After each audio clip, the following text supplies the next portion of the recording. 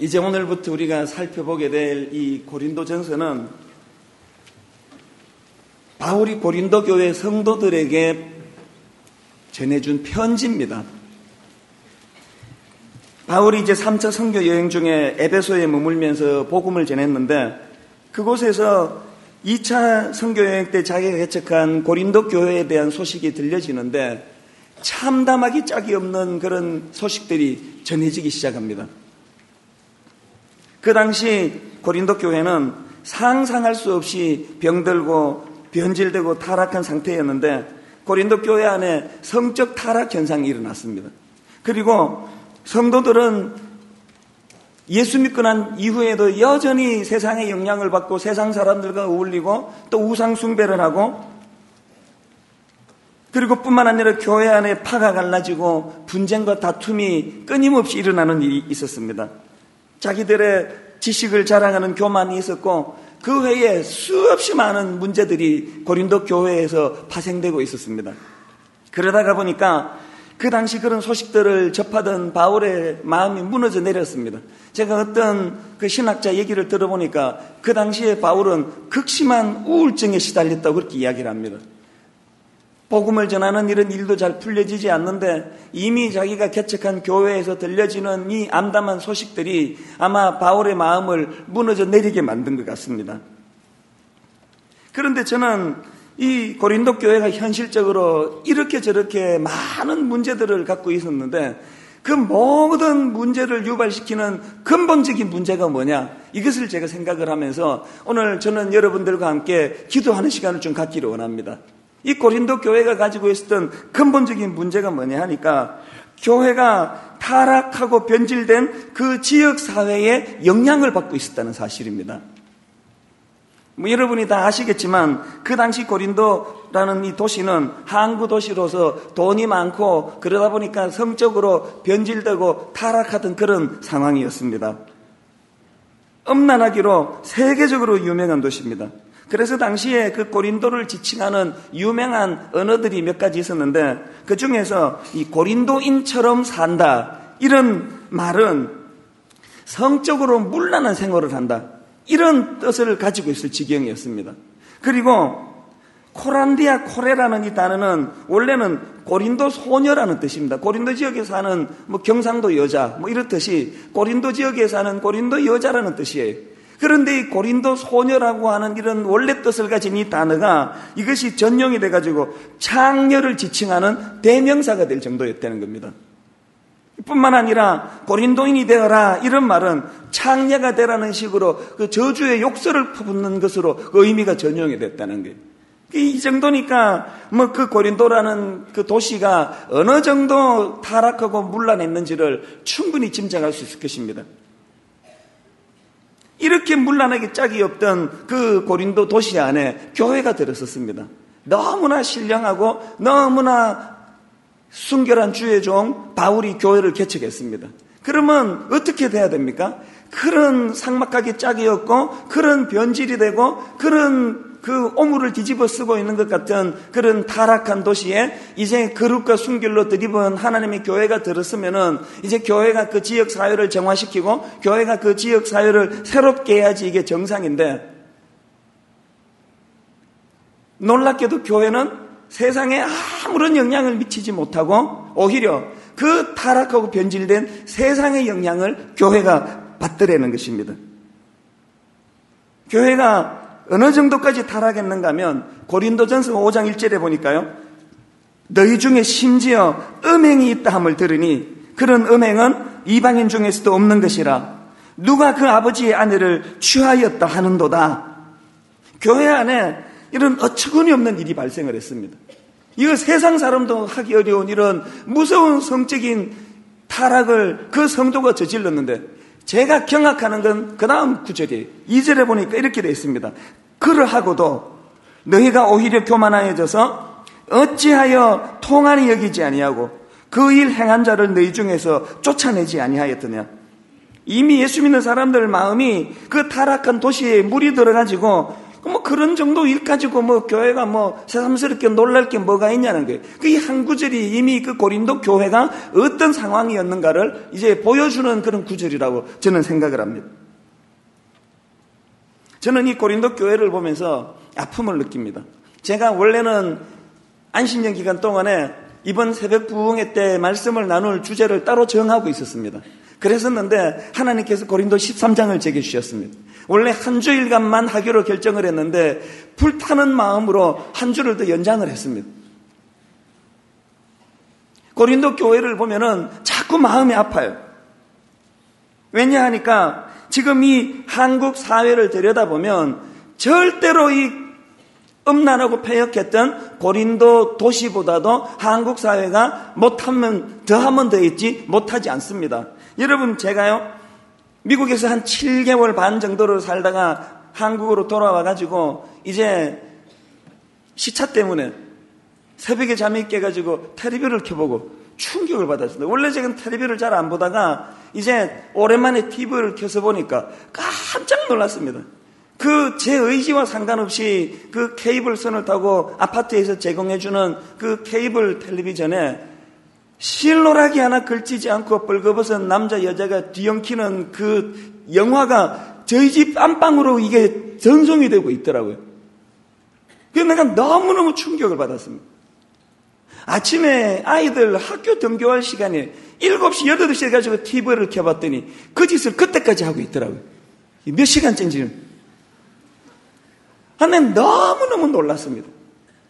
지금요, 뭐 서구 사회가 타락했다, 뭐 미국이 성적으로 타락했다 그러지만 제가 미국에서 7개월 살아보고 한국에 와서 살펴보니까요. 지금 한국은 미국보다도 훨씬 더 엄난한 사회예요. 적어도 미국은요, 제가 처음에 미국에 가가지고 TV를 신청하는데 AT&T라는 회사에서 와가지고요, 채널을 가지고 일일이 다 검증을 합니다. 어디까지 시청하겠느냐고. 어디까지 시청을 내가 제한시키겠냐고.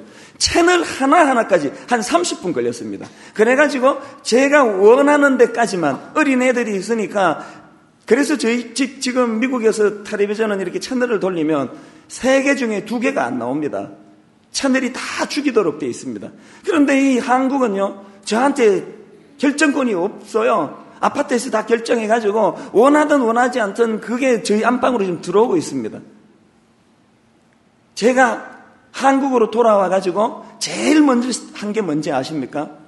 텔레비전 안테나 선을 가위로 잘라버리는 거였습니다. 제가 얼마나 의지가 약한지 그 안테나 선을 안 자르고 이렇게 빼놓으면은 나중에 또 그 꽂아서 볼 것 같은 두려움이 있어가지고 선을 아예 잘라버렸습니다. 그리고 저희는 옛날 텔레비라 가지고요. 이게 도저히 혼자서 들 수가 없는 어, 텔레비전이고 저는 지금 그 허리가 좋지 않습니다. 이 척추가 좋지 않아 가지고 오래 이렇게 서 있으면 왼쪽 다리가 저리고 그런 그 지금 치료를 받아야 되는데 그날 제가 새벽에 견딜 수 없어 가지고 혼자 그 텔레비를 내려 가지고 바깥으로 치워 버렸습니다. 이제는 허리가 아파서 도로 제자리 갖다 놓지도 못해요. 제가 이걸 보면서 느꼈는 게 뭐냐면 지금 이 한국 사회에 너무나 무서운 음란의 영이 우리 안방까지 지금 들어오고 있어요. 인터넷은 뭐 말할 것도 없고요. 며칠 전에 여러분 그 기사 다 보셨잖아요. 최근에 그 젊은이들 사이에 인기가 있는 어떤 가수가 이제 결혼을 선언했습니다. 유명한 어떤 탤런트와 결혼을 하기로 그렇게 했다고 발표를 하는데 거기서 뭐라고 자랑을 하는가 하니까 자기가 혼전 임신을 했다는 거예요. 그래서 그걸 온 세상에 그걸 떠들고 자랑하고 다니는데 그 당사자 그 여자 탤런트 겸 영화배우가 인터뷰한 기사를 보니까 이렇게 이야기했더라고요. 아, 그 남자의 프로포즈를 받는 거, 얼마나 좋은 일입니까? 그 남자의 프로포즈를 받고 또 그 남자 아이까지 갖게 된 것은 내 일생 일대의 최고의 행운이라고 생각합니다. 그렇게 자랑하면서 인터뷰를 했더라고요. 여러분 청소년들에게 영향을 미치는 그 유명한 연예인들이 그렇게 떠들어대면 이게 어린 아이들에게 미치는 파급 효과가 얼마나 엄청나겠습니까? 여러분 제가 그 행위 자체를 뭐 어쩌다가 임신하게 됐다. 뭐 인간이 그럴 수 있어요. 뭐 그보다 더한 짓도 하는 게 인간인데. 그럼 어떻게 젊은 나이에 절제를 잘 못해가지고 뭐 혼전 순교를 잘 지키지 못했다. 또 그것이 어떻게 불행하게도 또 임신으로 연결이 됐다. 제가 절대 그걸 가지고 정죄하지 않습니다. 그것보다 더한 짓도 할 수 있는 게 인간이지만 그러나 적어도 뭘 자랑하고 살아야 되고 뭘 감추며 살아야 되는지는 구분하고 사는 게 그게 인간이라는 생각입니다. 오늘 이게 무너져 버렸어요.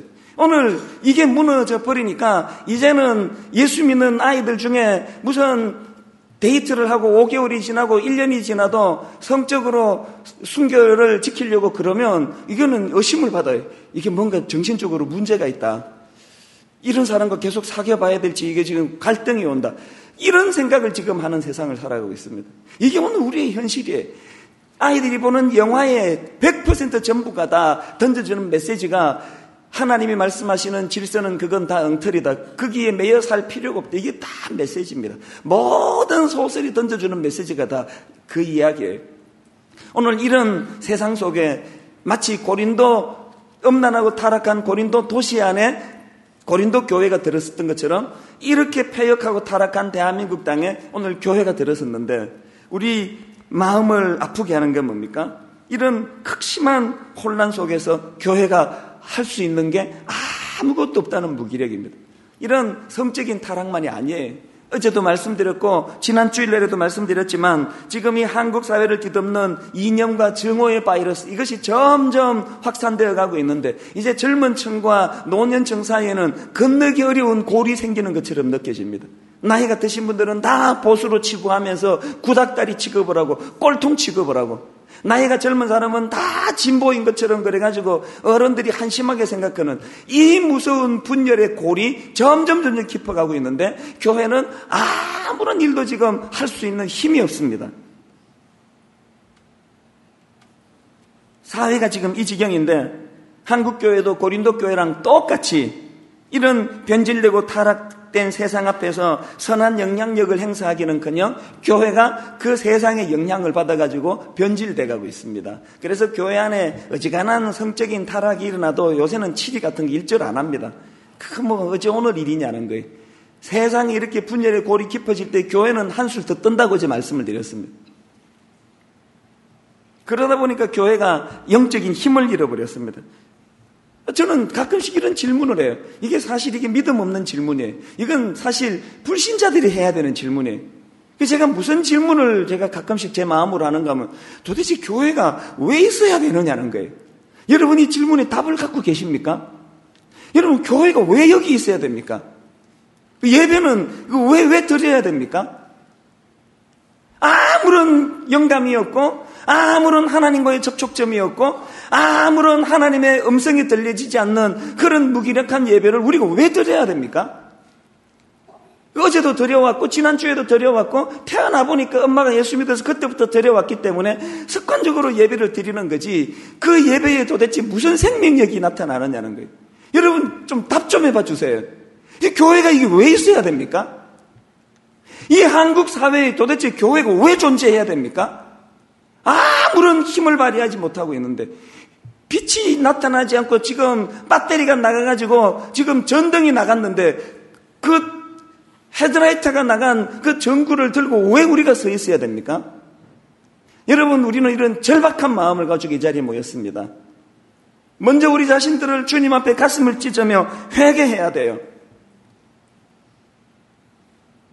산업사회 이후로 뭐 전 세계적으로 일어나는 현상이라고 생각합니다만 극심한 이 그리스도인들의 이기주의, 개인주의, 그저 기도하는 건 하여튼 복받게 해주시옵소서. 그저 기도하는 거는 그저 우리 집 잘 먹고 잘 살게 해주세요. 이렇게 경제적으로 뭐 전 세계가 어렵다 하지만 그 위기를 우리 가정은 이렇게 살짝 피하게 해주시옵소서. 날마다 날마다 우리가 관심을 갖고 기도하고 구하는 건 이기적인 자기 자신에게만 몰두하는 이런 현실이에요. 그러는 사이에 온 세상은 지금 악한 사단에게 다 점령을 당한 그런 상황입니다. 저는 오늘 여러분들에게 매년 해오던 똑같은 패턴의 그 지, 진행을 하고 싶지 않았습니다. 찬양팀 나서 찬양하고 또 서로 축복하면서 인사하고 또 광고 나누고 그리고 또 이제 본문 읽고 그리고 또 말씀 또 듣고 또 기도하고 뭐 이런 늘 하던 이 방식의 어떤 격식을 의도적으로 좀 깨뜨리고 싶었습니다. 이런 어떤 격식을 파괴하고 이런 격식을 좀 뛰어넘는 우리 가슴에 애통함이 좀 있어야 한다는 사실이 내가 고린도 교회의 변질과 타락을 보면서 내가 도대체 이 한국 사회에 예수 믿는 사람으로 서 있는 이 존재가 뭘 의미하는가? 바울은 어떤 신학자가 지금 우울증을 앓고 있다 할 정도로 절대절명의 마음이 무너지고 찢어지는 그런 상황 속에서 고린도 교회를 들여다보고 있습니다. 그런데 바울은요, 그런 고린도 교회를 향하여 주옥 같은 고린도 전서 고린도 후서를 써서 그들에게 보내주는데 바울이 대안을 제시합니다. 그게 뭐냐? 이 변질된 고린도 교회의 변질을 회복할 대안이 뭐냐? 그게 사랑이라는 겁니다. 그게 사랑이라는 겁니다. 그래서 12장 31절에 보니까 너희는 더욱 큰 은사를 사모하라. 내가 또한 가장 좋은 길을 너희에게 보이리라. 그 가장 좋은 길, 그 길이 사랑이라는 겁니다. 여러분, 제가 어떤 책에 보니까 사람들이 이렇게 사랑에 목말라 하면서도 진정한 사랑을 누리지 못하는 이유가 두 가지라는 겁니다. 하나는 사랑이 뭔지 모르기 때문이라는 거예요. 오늘날 그 인기 가수와 그 여배우가 결혼하는 과정에서 그들이 의도적으로 그런 건 아니지만 그들이 젊은 청소년들에게 젊은 청년들에게 던져주는 잘못된 메시지가 뭐예요? 사랑은 말초 신경을 자극하는 사랑은 내키는 대로 행하는 사랑은 내 감정에 충실한 사랑은 내가 감정적으로 저 여자랑 저 남자랑 성적인 관계를 갖고 싶은 충동이 생겨나면 그것을 절제할 필요가 없는 이런 호도된 사랑을 계속 메시지를 던지고 있는 것이 오늘 우리의 현실인데 우리는 올바른 사랑을 배워야 합니다. 올바른 사랑을 알아야 합니다. 우리가 거기에 놀아나지 않기 위해서는 그리고 그런 호도되고 잘못된 사랑에 오염되어 있는 오늘 이 시대의 정화 역할을 하기 위해서는 우리는 사랑이 뭔지를 제대로 알아야 됩니다. 이게 이번 두 주간 사랑이라는 주제로 말씀을 나누는 의미입니다. 그런가 하면 두 번째로 왜 진정한 사랑을 누리지 못하는가 봤더니 참 사랑을 안다 할지라도 그 사랑을 행할 능력이 없기 때문이라는 겁니다. 사랑이 뭔지 모르는 것도 문제지만 제대로 된 사랑이 뭔지를 지식적으로 모르는 것도 문제지만 안다 하더라도 우리는 그 사랑을 행할 능력이 없다는 거예요. 그래서 이번 새벽 부흥회 때 우리가 구해야 될 큰 두 가지 제목은 이거예요. 하나님, 사랑을 알려주시옵소서. 이론적인 그런 거 말고 하나님, 사랑을 좀 깨우쳐 주시옵소서. 성령님, 내 마음속에 뭐 뚜렷이 이렇게 목사가 말로 전해주는 사랑의 정이 그런 거 말고 기도하는 가운데, 찬양하는 가운데, 하나님 영적으로 성령님 사랑을 좀 가르쳐 주시옵소서. 저도 모르게 지금 이 오염된 사랑에 많이 노출이 되어 있습니다. 저도 지금 사랑이 뭔지 잘 모르겠습니다. 사랑을 가르쳐 주시옵소서. 이게 우리 첫째 기도 제목이어야 한다면 두 번째 기도 제목이 뭡니까? 내가 알게 된 참 사랑을 행할 능력을 주시옵소서. 내가 알게 된 이 사랑을 행할 능력을 이 두 주 안에 주님 허락하여 주시옵소서. 이것이 우리의 기도 제목이 되어야 된다는 겁니다. 그 두 가지가 온전히 이루어진 공동체가 저는 초대교회라고 생각을 합니다. 저는 오늘 말씀을 전할 생각이 없는 게 아니고 이게 말씀이에요, 지금. 본문도 안 읽고 그냥 그냥 여러분에게 서론처럼 말씀을 던졌지만 오늘 제가 던진 이 서론의 메시지가 이번 두 주 내내 여러분 마음속에 중심의 기도 제목으로 이것들이 자리를 잡고 그리고 내일서부터 우리가 나누는 사랑에 대한 여러 가지 것들을 살펴볼 때 이것들이 같이 결합이 되는 은혜가 있어야 한다는 사실입니다. 애통해야 돼요. 지금 안방까지 침투해 와 있는 이 무서운 음란의 영 인터넷선을 통해서 케이블선을 통해서 내 의지로 막을 수 없는 이 무서운 상황 속에서 우리 아이들이 우선 변질되어 가고 있고 우리 아이들이 점점 세상의 영향을 받아가지고 복음과 멀어지고 있는 이런 현실을 가슴 아파해야 됩니다. 그리고 나 자신의 무디어짐을 가슴 아파해야 됩니다. 우리 이런 마음을 담아가지고 이제 우리가 좀 기도하는 시간을 가지면 좋겠는데요. 우리 첫날, 첫 시간 하나님 앞에 올려드리는 아름다운 찬양으로 저는 이 찬양을 선택했습니다. 주님, 다시 오실 때까지 나는 일어서리라. 왜 이 찬양을 택했는지 아십니까? 고린도 교회가 그 수많은 변질과 타락을 가져오게 된 많은 이유가 있었지만 그 중에 가장 큰 줄기가 주님이 원하시는 좁은 길을 택하지 아니하고 넓은 길을 택했기 때문이라고 생각합니다. 그게 우리들의 모습입니다. 이 시간 애통하면서 하나님 앞에 찬양할 때 하나님께서 찬양하는 여러분 뇌리 속으로 우리들의 무뎌진 심령이 다 밝아져서 우리들의 현실적인 모습을 낱낱이 고발해 주시기를 바랍니다. 우리의 현실이 얼마나 초라하고 영적으로 얼마나 비참한가를 성령님이 낱낱이 고발해 주시는 시간이 되시기를 바랍니다. 우리 다 자리에서 일어나서 찬양하기 원합니다. 찬양합니다. 주님 다시 오실 때까지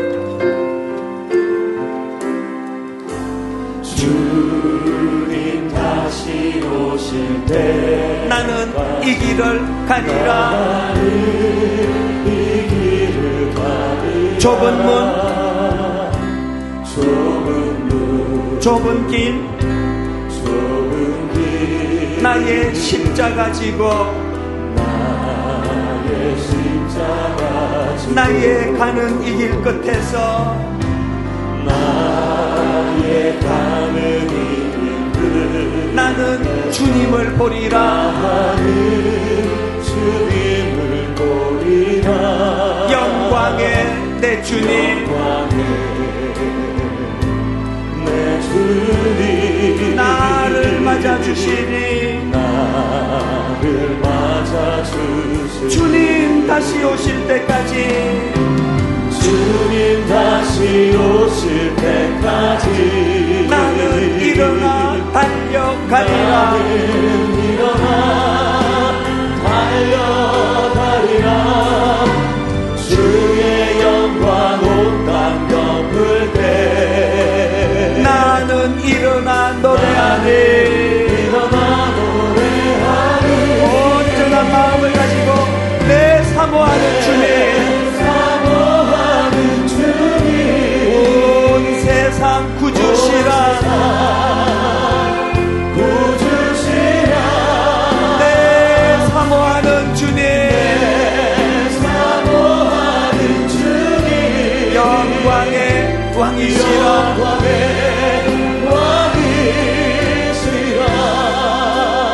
다시 한번 이 찬양 부르기 전에 한번 생각을 하면서 이 찬양을 부르면 좋겠습니다.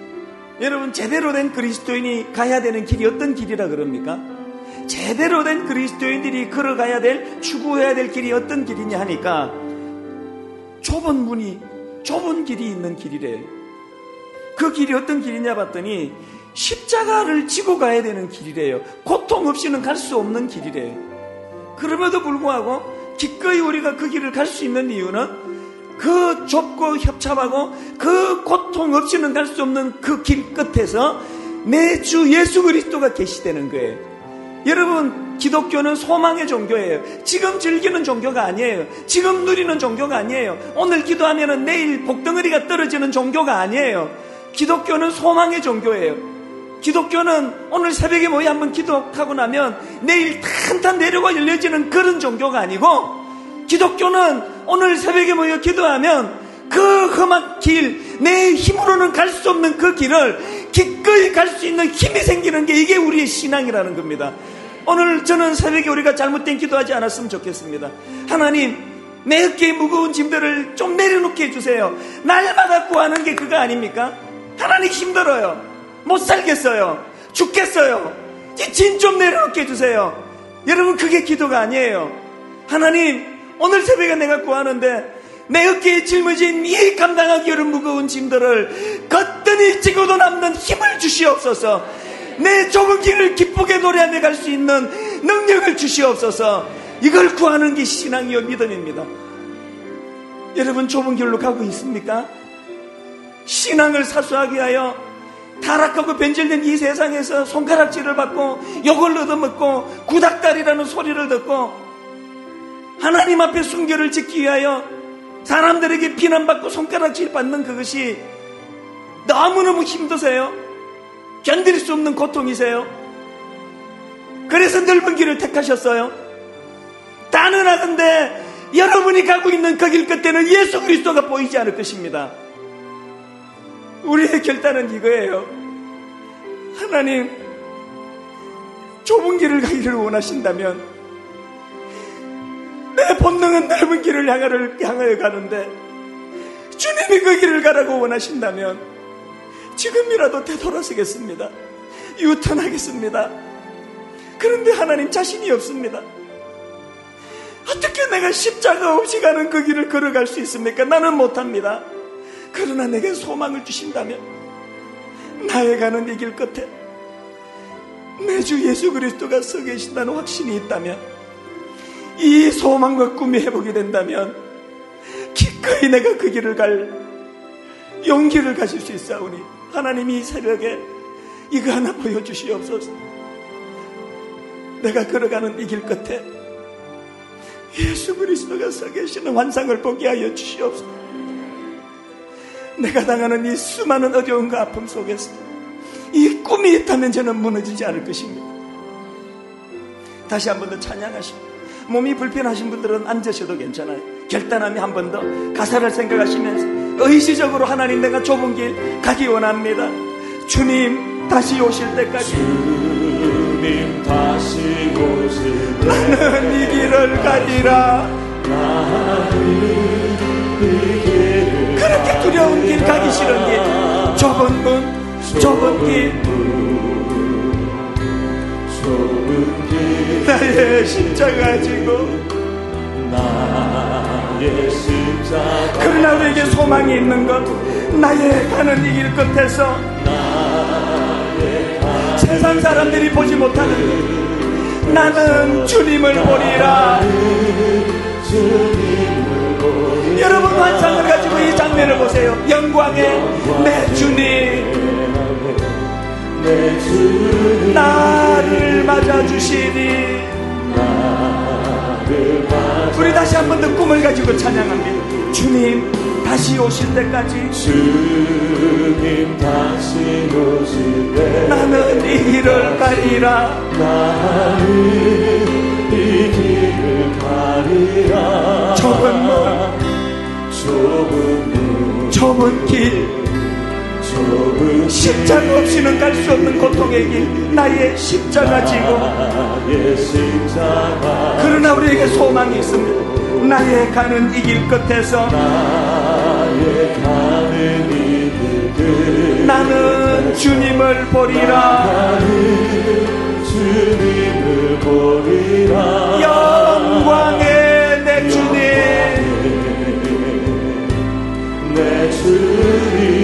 나를 맞아주시니. 맞아 이 소망을 가지고 선포합니다.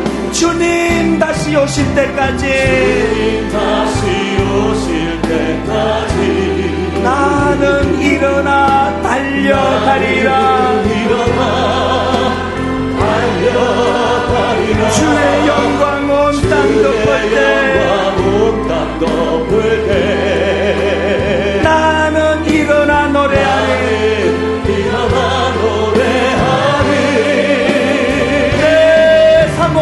사모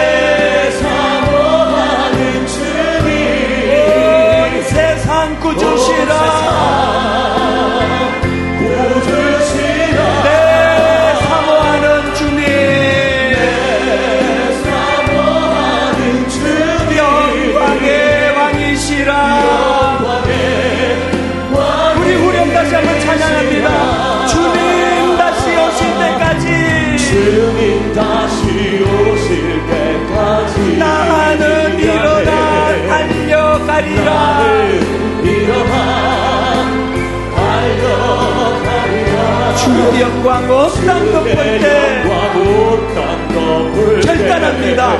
나는 일어나 노래하리 이 힘이 어디서 나오는 것입니까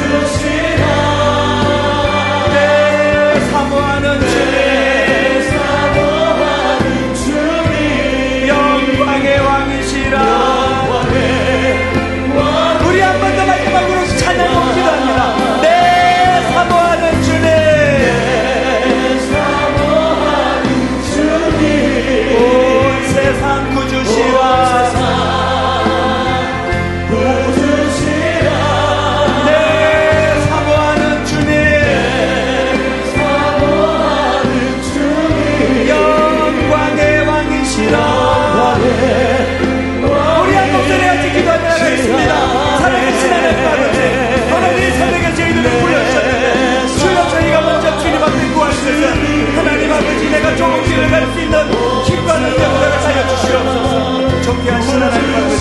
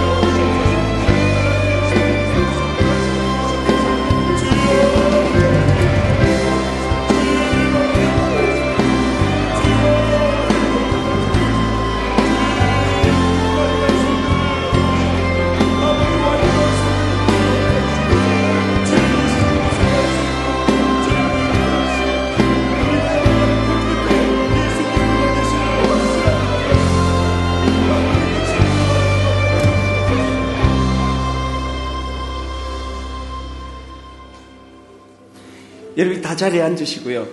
첫날 우리가 하나님 앞에 결단하는 시간을 의지적으로 결단하는 시간을 좀 가지면 좋겠습니다. 믿음은 사랑이 그렇듯이 믿음은 감성에 의지하는 게 아닙니다. 의지적인 결단입니다. 사랑이 내가 저 사람을 사랑하기로 결단하노라 하면 그 결단 속에 성령님이 힘을 주시는 것처럼 신앙생활도 마찬가지예요. 저는 오늘 첫 시간에 여러분이 좀 냉정해지기를 바랍니다. 여러분이 지금까지 걸어가고 있는 그 길이 어떤 길인가를 여러분이 하나님 앞에서 양심껏 조명해 보시기를 바랍니다. 여러분 가고 있는 그 길 끝에 예수 그리스도가 서 계실 확신이 있으세요? 여러분이 가고 있는 그 길대로 쭉 가면은 그 길이 주님이 원하는 길이라서 그 길 끝에 예수님이 서 계실 확신이 있으십니까? 여러분 진짜 가고 계시는 그 길이 좁은 길입니까? 여러분 진짜 가고 있는 그 길이 세상의 사람들이 추구하는 길과는 다른 길입니까? 먼저 이것을 깊이 여러분이 정직하게 돌아보셔야 됩니다. 그리고 나서 이 시간 한 가지 결단하셔야 됩니다. 의지적으로 결단하셔야 됩니다. 하나님, 좁은 길로 가기 원합니다. 당장 뚫고 가기에는 지금은 힘들지만 소망이 있는 길. 당장 뚫고 가기에는 너무너무 힘들지만 너무나 많은 절제를 요구하지만 그러나 그 끝에 예수님이 서 계신 길. 하나님, 제가 이번 특수 기간 동안에 결단합니다. 좁은 길로 가기 원합니다. 내가 유턴해서 방향을 전환하겠습니다. 그렇게 마음으로 결단하시기를 바랍니다. 결단이 쉽지 않으세요? 쉽지 않으실 거예요. 전환하면 넓은 길, 길이 넓으니까 뭐 갖고 가는 게 얼마나 많았겠습니까? 좁아지면 내려놓아야 될 게 너무 많아요. 포기해야 될 게 너무 많아요. 목숨처럼 소중히 아끼는 세상적인 그 무엇을 내려놓아야 되는 아픔이 있어요. 결단하실 수 있으시겠습니까?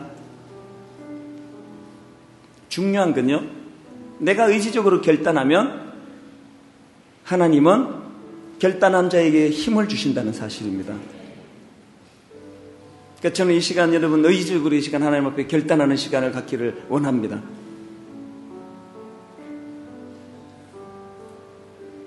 사람 의식하지 마시고 하나님 오늘 깊이 영적인 눈을 떠서 나 자신을 보니까 나는 넓은 길로 가고 있었습니다. 세상 조류에 휩쓸렸습니다. 그래서 고린도 교회 성도들 비슷하게 내 가치관이 세상에 물들어가고 있었습니다. 하나님 깨달았으니 이제 내가 좁은 길로 전환하기를 원합니다. 나 이제 좁은 길로 방향을 턴하겠습니다. 이렇게 결심하시는 분들은 자리에서 일어나세요. 사람을 의식하지 마시고 이건 의지적인 하나님 앞에서의 내 사랑을 표현하는 행위예요. 여러분이 결단을 하시면 그렇게 결단하는 그 자리에 하나님께서 그, 그 길을 갈 수 있는 힘을 주실 거예요. 그래서 날마다 우리가 우는 소리 하면서 어깨에 짐을 내려놓게 달라고 울던 저희들이 이제는 하나님 앞에 구하는 기도의 질이 달라집니다. 하나님 이 어깨에 무거운 짐을 거뜬히 지고도 남는 튼튼한 어깨를 주시옵소서 기도 제목의 질이 달라질 줄 믿습니다. 우리 함께 이 찬양을 같이 부를 때요. 하나님의 교회 신사도행전입니다. 76번 찬양을 부르면서 하나님 앞에 찬양합니다. 이 땅 위에 하나님의 교회 부르심을 따라 일어나 거칠은 광야 외치는 소리 거듭거듭 피어나라. 성령께서 우리 교회에 닫힌 문을 열어주시기를 원합니다. 이 시간 성령의 역사가 이 찬양 가운데 일어나게 되시기를 원합니다. 우리 같이 찬양하시겠습니다. 이 땅 위에 하나님의 교회 이 땅 위에 하나님의 교회 부르심을 따라 일어나 부르심을 거칠은 광야 외치는 소리를 거듭거듭 피어나라. 거듭거듭 피어 갈망합니다. 성령이여 이 세대를 향해 고린도 도시 같은 그 사회에 주의 진리를 선포케 하소서. 십자가에서 죽으신 그 사랑 우리 사랑. 되게 하소서. 우리 사랑 되게 선포하십시오. 다친 분들아 열릴지어다. 닫힌 문들아 열릴지어다. 모든 세대여 일어나라. 세대여 일어나라. 주 예수께 무릎 꿇고 경배 드리세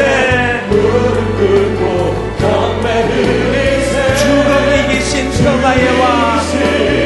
간절히 열망으로 주님 앞에 찬양합니다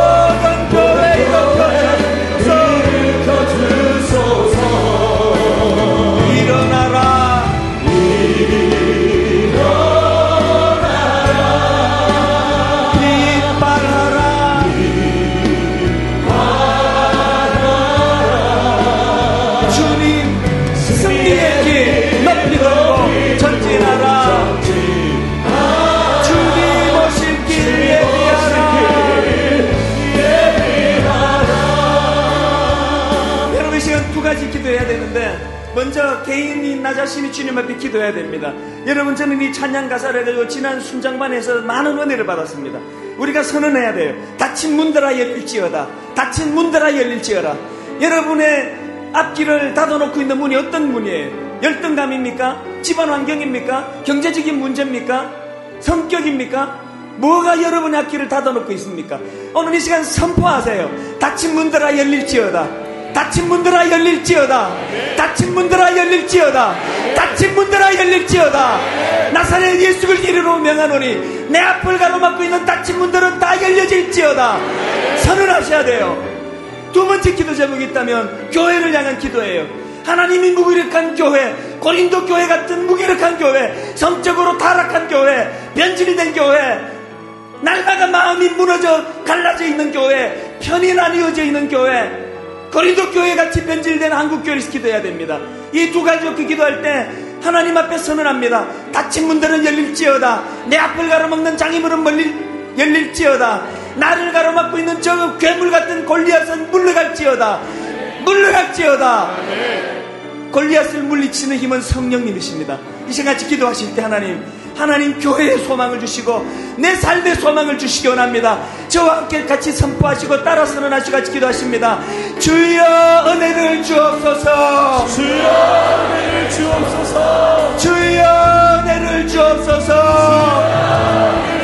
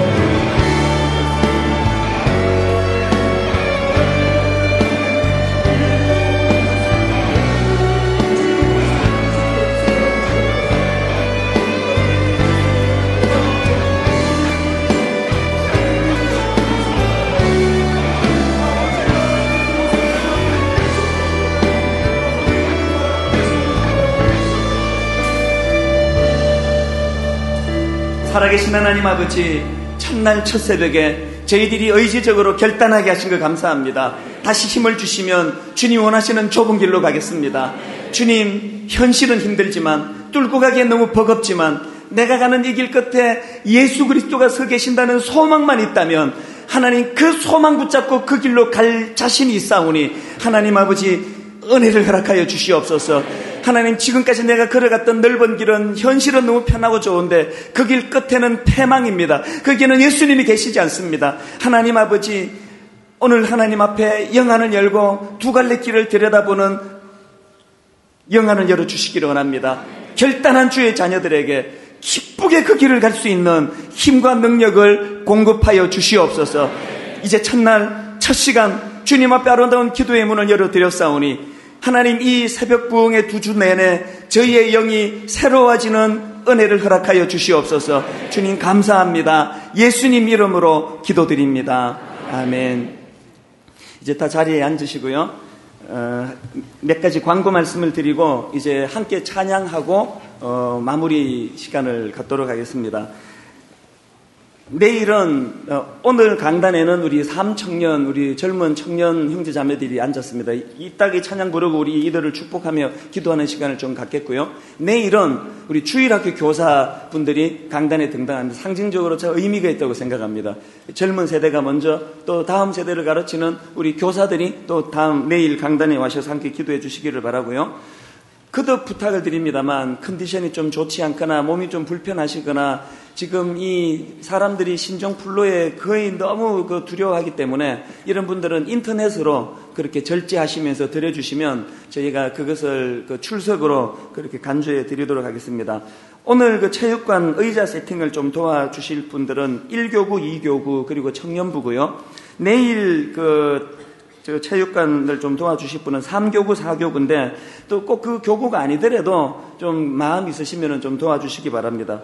새벽 3시 50분부터 이제 저기 의자를 다 정리를 하고 특세가 끝나면 저걸 또 다 철수를 해야 배구부 학생들이 저기 연습을 할 수 있습니다. 여러분들이 좀 그렇게 도와주시고요. 정리하는 시간은 오늘 6시 30분부터니까 옆방으로 가셔서 좀 도와주시고 어제 제가 그 주차장에 그 차를 다 세우고 한꺼번에 나가겠다 그랬더니 주차부에서 연락이 왔습니다. 그게 더 혼란을 시킨다는 한꺼번에 나가다가 보면 굉장히 어려워진다고 그래서 이제 중간에도 가실 수 있도록 그 간격을 띄우기로 했습니다. 그러니까 어제 광고는 그 잊어주시고 그냥 원하는 대로 기도하시다가 가실 수가 있습니다. 단 6시 50분까지 정리를 하셔야 이제 학생들이 등교를 하니까요. 적어도 6시 50분에서 7시까지는 차를 다 그 출차해 주셔야 된다는 거, 그것을 기억해 주시기를 바랍니다. 그리고 지금 이 공사기 때문에 사단이 그 틈을 비집고 들까봐 저는 노심초사합니다. 이제 공사 중이기 때문에 어쨌든 이 남쪽으로 가시는 분들이나 또 성남 지역으로 가시는 분들은 이유 여하를 불문하고 이 SEC로 돌아가시기를 바랍니다. 저기 지금 공사하는데 이리로 나가는 차가 엉켜버리면 대혼란이 일어날 위험이 있습니다. 출근과 맞물리니까 하여튼 이 SEC로 가면은 교통에 영향을 안 받으니까 후문으로 가서 바로 거기서 유턴하듯이 이 사이길로 그렇게 길을 가주시고요. 절대로 여기서 끼어들게 하시면 안 됩니다. 지금 굉장히 위험한 상황이니까 그것을 잘 인식해 주시기를 바라고요. 다른 교회는 특세하면은 막 소고기 국밥 해가지고 대접을 하고 이러는데 우리는 그 학교를 빌렸으니까 그게 없습니다. 자기 사 먹어야 돼요. 김밥도 팔고 샌드위치도 파는데 너무너무 죄송하지만 다 대접하고 싶은데 여러분들이 그렇게 다 사드시기를 바랍니다. 그래서 판매를 하고 있고요. 그리고 뭐 여러 가지 실천 사항들 이런 것들은 내일 제가 또 다시 안내를 해드리겠습니다. 어, 작년 특세를 여러분 기억하실 것입니다. 첫날 터졌던 그 찬양이요. 모든 민족과 방언 가운데 저는 이 찬양을 1년 내내 그 인터넷을 통해서 듣고 마음으로 따라 부르고 그렇게 했었는데 이제 오늘 우리가 이 찬양을 같이 부르고 이제 개인기도 들어가겠는데 특별히 지금 우리 삼 청년들이에요. 이 청년들은 제가 지금 이렇게 기도의 인도를 50% 준비했으면 200%가 나옵니다. 왜냐하니까 이 기도의 전위 부대가 뒤에서 저에게 영적으로 막 힘을 공급해 주는데 너무너무 감동해. 이렇게 결혼도 안 한 형제 자매가 어디서 이런 놀라운 영성이 있는지 모르겠는데 너무너무 자부심을 느낍니다. 우리 교회에 이런 젊은들이 많다는 게 그래서 특별히 여러분 기도할 때 배우자를 구할 수 있도록 저는 그냥 옆에 앉은 사람끼리 눈 맞아가고 해버리면 제일 좋겠습니다만 또 쉽지 않으니까요. 그러니까 여러분이 배우자들을 위해서 기도해 주시고 이게 삼청년부 등단이 이제 저들에게 축복의 통로가 될 수 있게 달라고 그렇게 기도해 주시기를 바라고요. 담당하는 우리 강선웅 저 전사님 참 귀한 종입니다. 저 종과 더불어서 이 삼청년부가 부흥하게 해달라고 기도해 주시기 바랍니다. 이제 다 자리에서 일어나시겠습니다. 다 자리에서 일어나서 우리 작년에 주셨던 은혜를 회상하고 떠올리면서요. 모든 민족과 방언들 가운데 하나님 앞에 이 찬양을 부르고 이제 개인기도 들어가겠습니다.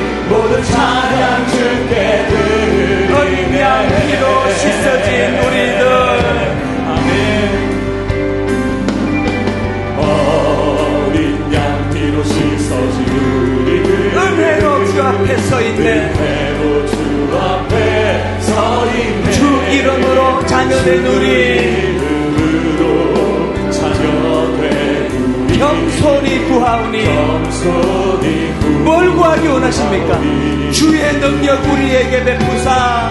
주의 능력. 주님이 주시는 능력이 뭘 변화시킵니까? 주를 더욱 닮게 하소서. 함께 하소서. 우리에게 꿈을 주신 주님 그때의 모든 나라. 주 영광 보며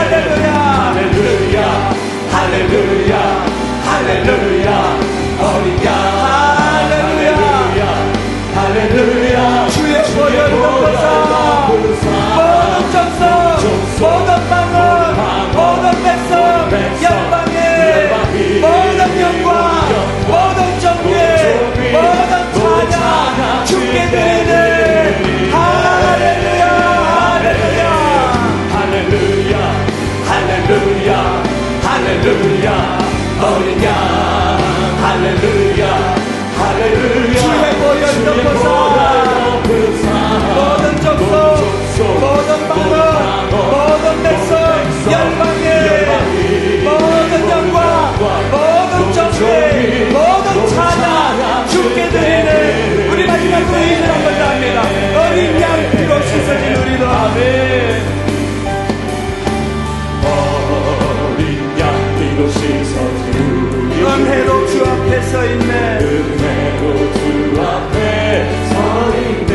자가 있으세요?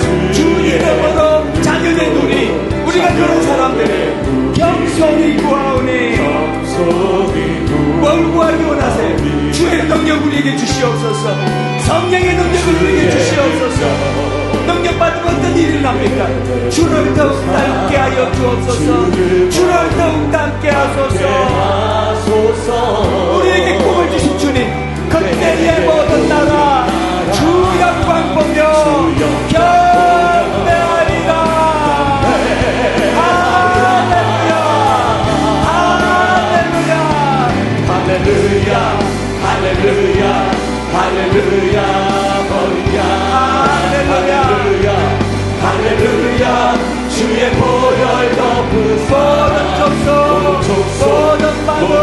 모든 백성 열방에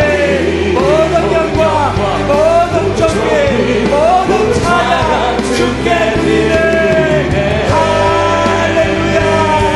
할렐루야.